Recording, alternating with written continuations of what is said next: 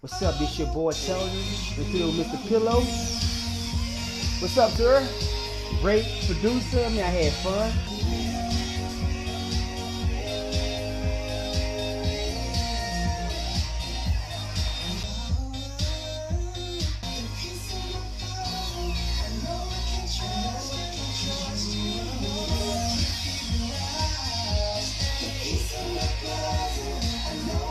trust you.